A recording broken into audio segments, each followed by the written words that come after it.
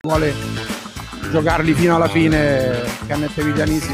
Arriva al blocco di schiena di Antonacci alza la tripla. Kenneth Viglianisi!